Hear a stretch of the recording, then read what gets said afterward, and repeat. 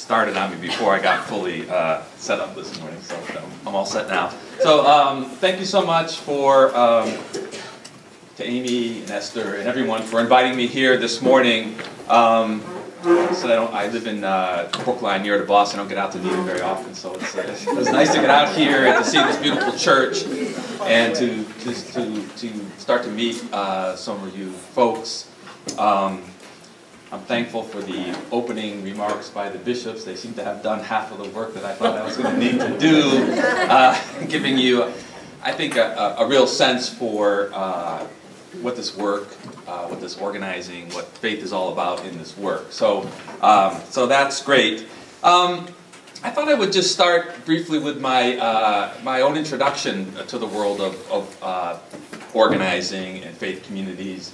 I'm going to sometimes use the word faith-based organizing uh, because I believe much of this organizing does draw upon and roots itself in faith traditions and faith communities and faith institutions. It extends beyond that, and people use a lot of other kinds of words uh, to describe it. But I was a graduate student at Harvard University uh, trying to decide what to write my dissertation on. And I spent a semester sitting in a room with no windows, staring at four walls, you know, scratching my head, tossing out one idea after another and scratching, scratching those ideas off and getting more and more depressed. And believe me, that's a very common uh, disease among PhD students, I, I learned later. And uh, one day, my advisor came back from a trip to San Antonio, Texas. And she said, I have exactly the project for your dissertation. I've been visiting the Industrial Areas Foundation Network in, in Texas in the Southwest. A man named Ernesto Cortés has invited me down to give a seminar uh, to their organizers and leaders. And uh, she said, you're very interested in how, uh, what's happening in our political system, that our political system is broken, that regular people don't seem to have a role anymore and don't participate and build power in our political system, particularly in communities of color, but also in white communities as well. You are interested in issues of, of racism and social justice, and is there some way to bring people together in our country across racial lines? How do we, how do, we do that? And so I got on a plane and I went to El Paso, uh, Texas, I'd never been to the state of Texas, so the idea that I was going to do my dissertation research in a state I'd never even been to before was a little bit audacious, I suppose, but because I was at Harvard, I guess we do a lot of other things. She said, I'll help you get some money together, and you know, I could stay, probably stay at rectories in different places, uh, maybe for free while I did it. So anyway, I ended up in El Paso, and uh, the day I arrived was going to be one of uh, their 10th anniversary uh, assembly, and I got, they invited me to come to that, the first thing I did, and I got there and I stood outside and I watched bus after bus mm-hmm. arrive, and hundreds and hundreds of people arriving from their, their churches and sometimes from their schools and other places. And uh, it was a very powerful experience because I don't think we have many of these uh, opportunities, many of these vehicles, as the bishop called them, um, in which you end up with a thousand people gathering together to talk about the issues that are facing their community. And up on the top of the stage wasn't just um, political leaders, wasn't just you know executive directors of organizations, it wasn't just bishops, although they were all there. Um, it was it was regular people from these congregations or these Catholic parishes getting up and running the show and making decisions and engaging with the political leaders of their community. And the other thing that I saw there, which I think um, so it was about building power, and they were talking about uh, water services to colonias areas. They were talking about the state of education and their plans for improving education. It was about building power to make change for social justice, but it was also about bringing people together in a different kind of way.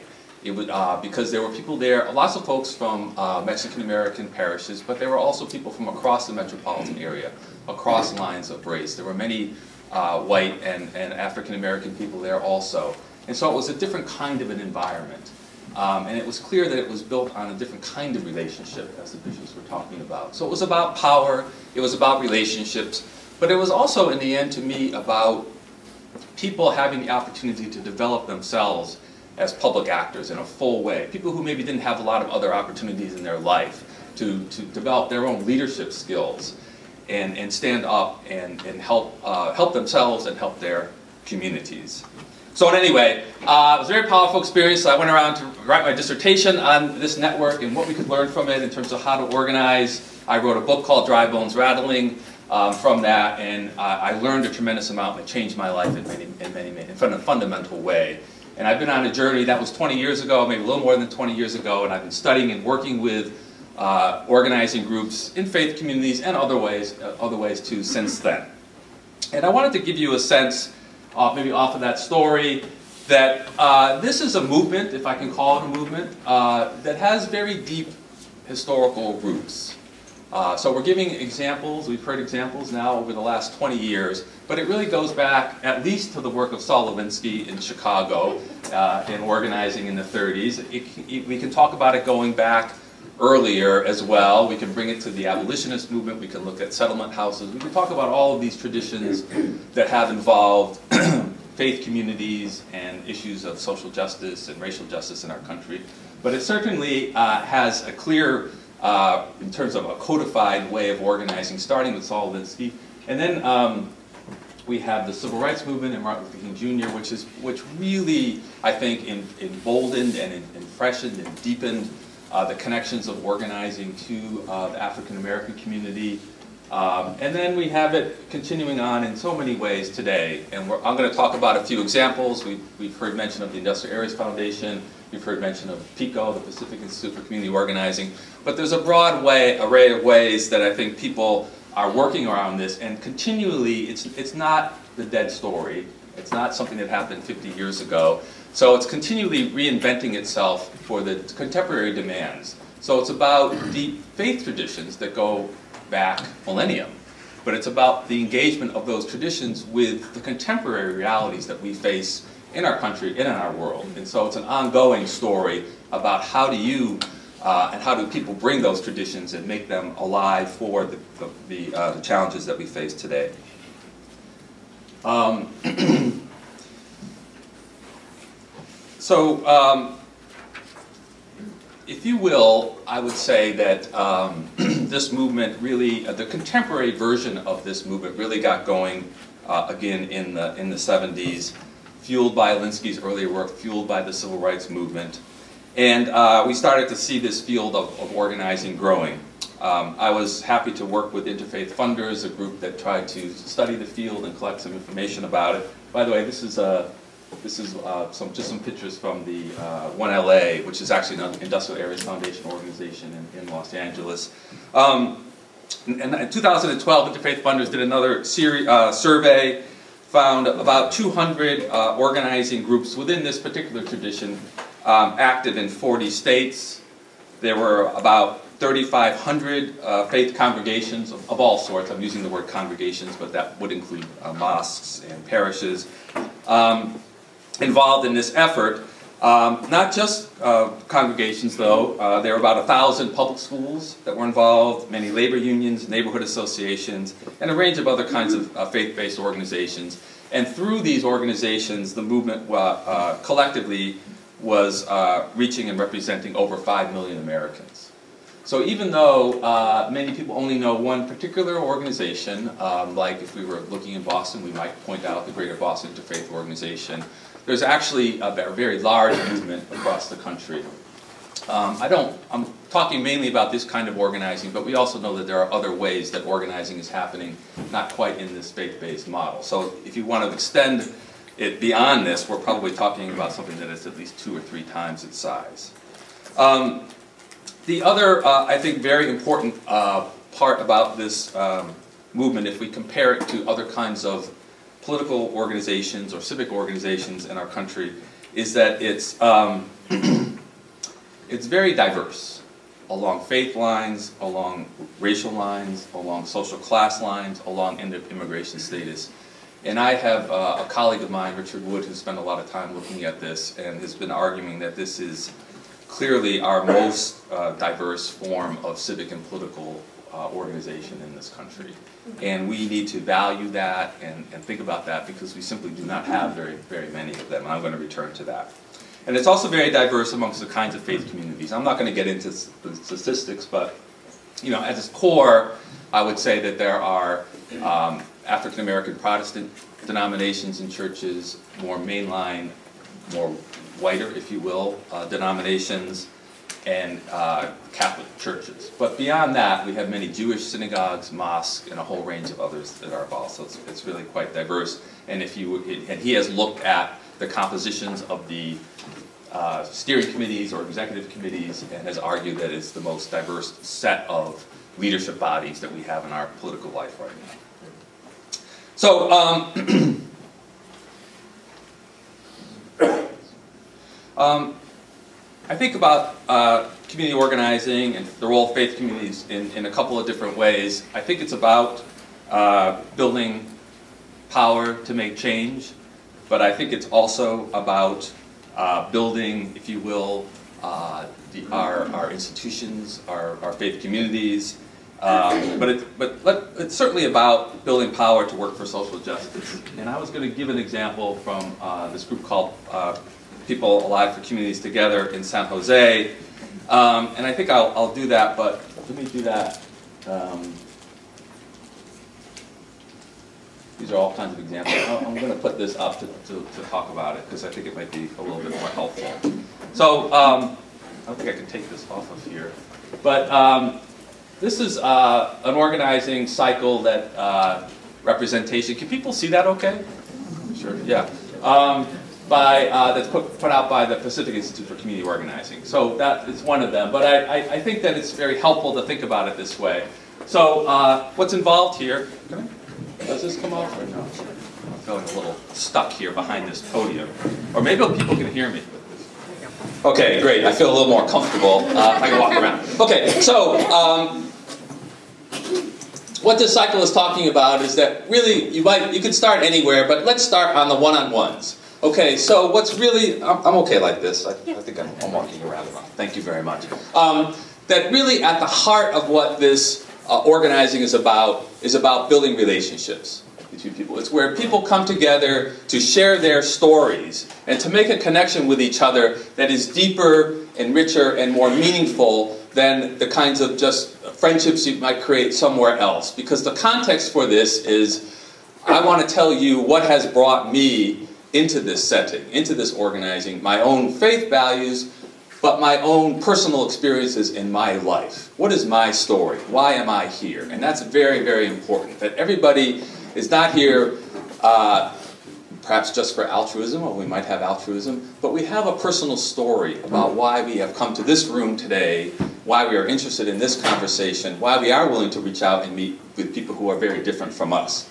And it's through building those relationships talking one-on-one that people create the kinds of foundation to work together in the, in the public world, um, if that makes sense.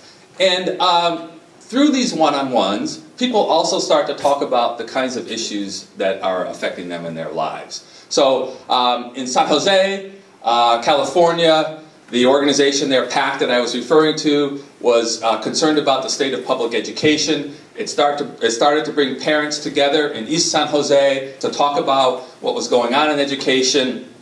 They were talking about their faith values, they were talking about their personal stories, but they were also talking about their experiences, the experiences of their children in the schools. And this is very important because what happens uh, for many people when, uh, you know, if, if your child, if my child is not doing very well in school, then I think it's something's wrong with my child or something's wrong with my family. But if I start to meet one-on-one, -on -one, if I start to meet in house meetings, and I, it finds out that all the parents have a very similar story about what's happening with their children in uh, some very poor communities in, in East San Jose, then we start to realize that the problem isn't our personal problem, it's a systemic problem with what's happening with the education system and the lack of power that our community has. Does that make sense? Yeah. And that's a fundamental transformative process that organizing uh, creates for people. And now we can start to talk about, well, what is it in our, that's wrong with our schools uh, that's creating these kinds of problems. And then we see the next, uh, so we've, we've talked about relationships, we've, we've surfaced issues if that's the way, but we've talked about our faith, we've talked about the real issues facing our communities, and then uh, we're sort of listening and learning, I think you can see that too well, but then there's a phase about uh, research. So what happened in San Jose is that the parents that were organizing, it, at the core it was a, a group of, of, Latino parents in East San Jose, but as we're talking about, these organizations cross lines of class, of race, of faith. And so the larger organization was a much more diverse organization. But at its core was uh, Latinos parents whose children were at the school, and they started to study. Uh, they, they traveled to other cities to look at schools that were working better for low-income Latino children. Um, this is a very important part of what we might also talk about as leadership development. So these folks were learning, they were growing both about how to be public actors, but also about how to do research, how to be able to be knowledgeable actors in the public realm. Um, and uh, they decided that part of the problem was that, or a fundamental part of the problem was that children were attending very large public schools uh, that were uh, uh, not serving them well because they were disconnected from their community, uh, that the teachers didn't understand the community, and they wanted to start a campaign to start smaller, to, for the district to open smaller schools that would be uh, closer, more closely tied to the communities in which uh, they lived. And so they started a small schools campaign within the public schools.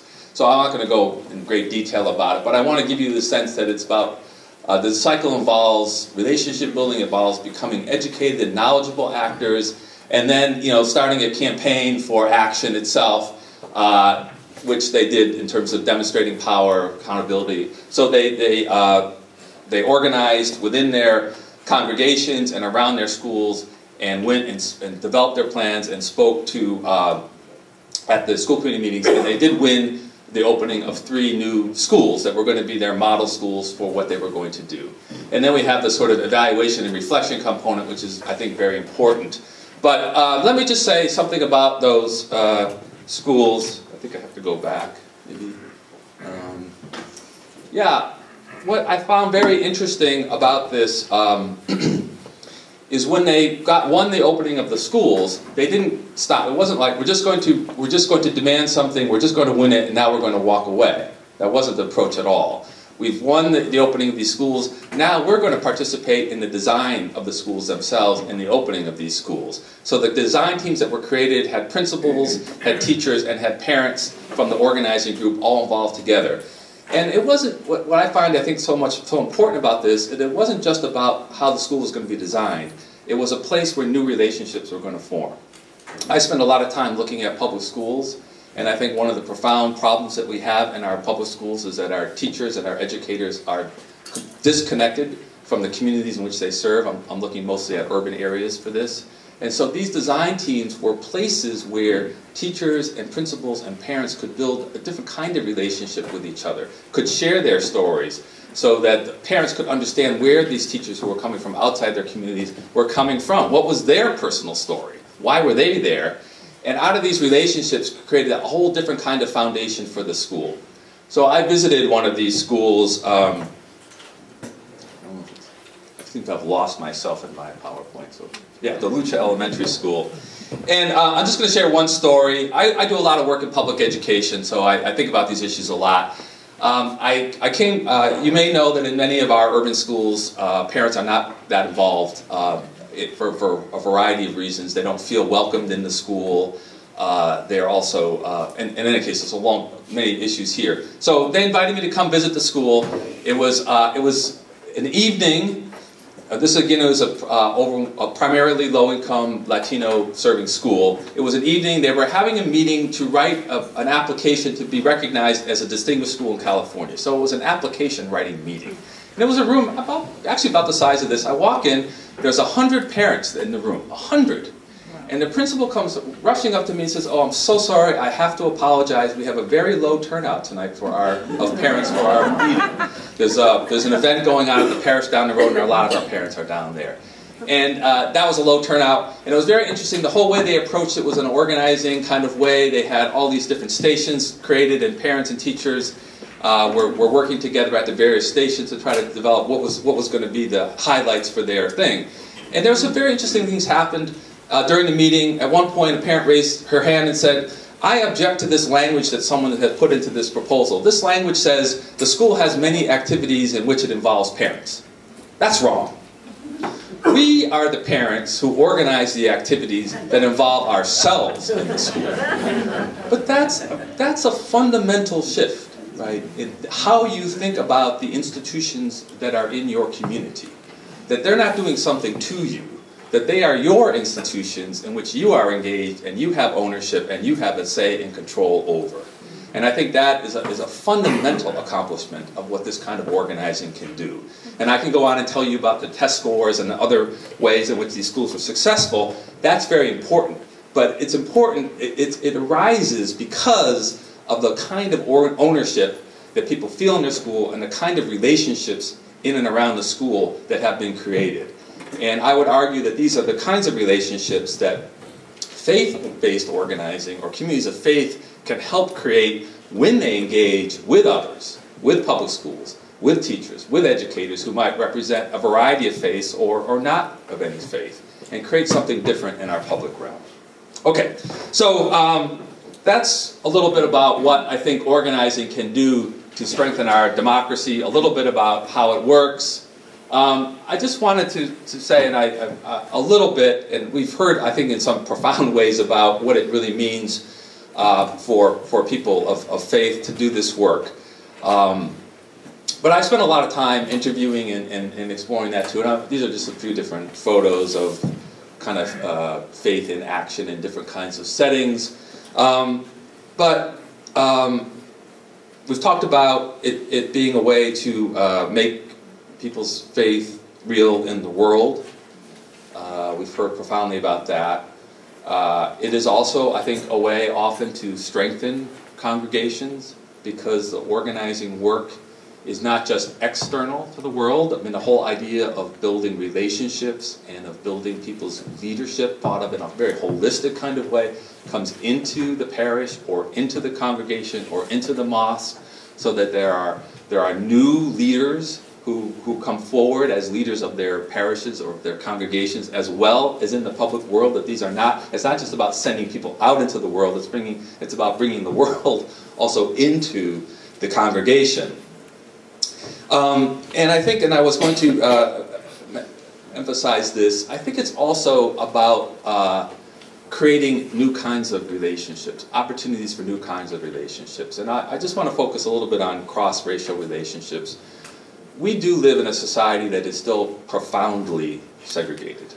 And most America, profoundly, in our communities, in our neighborhoods, in our schools, in our faith communities, as we're observing here today as well.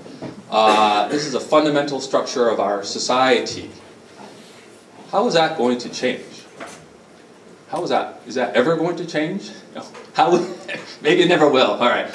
But if it's going to change, people have to take some intentional action to make it change.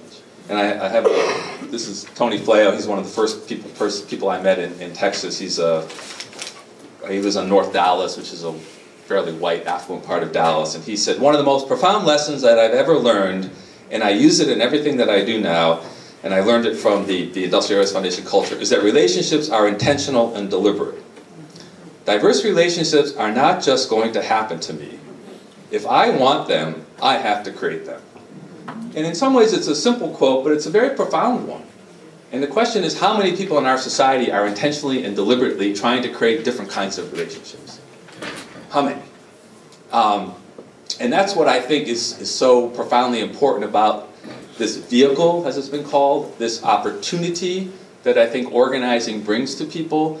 And when I've interviewed people about, you know, why are you in, not just why are you involved in organizing, but why do you stay involved in organizing?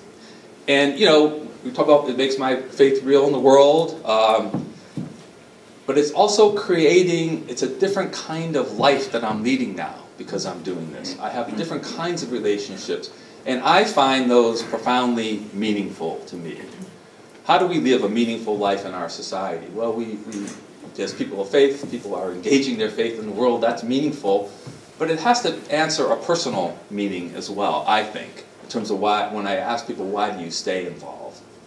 And so many people have told me that it's about the, the relationships that I have that are different that I have in any other way in my life.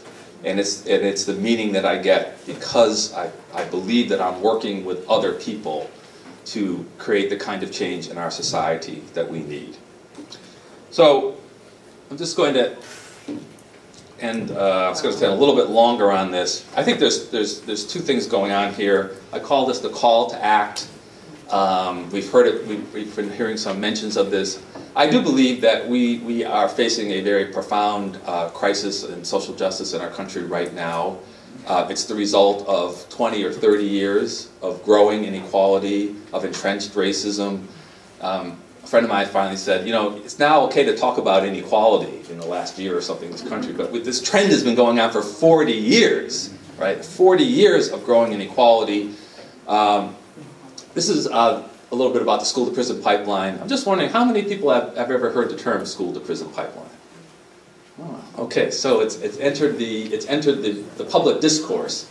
Um, the first people to talk about it were talking about it as a school to jailhouse track in rural Mississippi. Black communities in rural Mississippi in the late 90s, 1990s started talking about the school to jailhouse track. Nobody knew what they were talking about. Um, now it's, it's, better known. In any case, it's about um, harsh and racially inequitable school discipline practices so that we have pre-K children and kindergarten children being uh, suspended from school. And, this, and it's mostly uh, it, typically black and Latino boys and students with, with special needs, although girls are also affected by it. Um, it's gotten to such a crisis that fully 75% of all black students in the state of Texas have been suspended in the last year. 75%. Um, if you're suspended from school, you are much more likely to drop out or end up being expelled. Um, uh, you're three times more likely um, if you're if you've been suspended before you've, you've hit middle school, then your uh, your chances of being of dropping out of school are five or six times as likely. If you have dropped out of school, if you are no longer in school, uh, your chances of ending up in the juvenile or criminal justice system are very high. So uh, if you are an African American man in this country without a high school degree, the chances that you will end up in prison in your life are, are two thirds, are 66 percent. Two-thirds of all black men in this country without a high school degree will end up in prison at some point in their life. One-third of them are in prison right now. So it's a profound, it, there, and there are, you may know, there are a million African Americans imprisoned in this country, or in the criminal justice system right now. So um, I could go on about this, but I, I, believe that it's a profound crisis. I think the youth, uh, youth of color in our, in our society are at the epicenter of this crisis. Um, even after all of the years of struggle, 50% of black children uh, grow up in or near poverty in this country. So uh, these things are all related. It's a call for us to take action um, is what I'm trying to, to get at here. Um,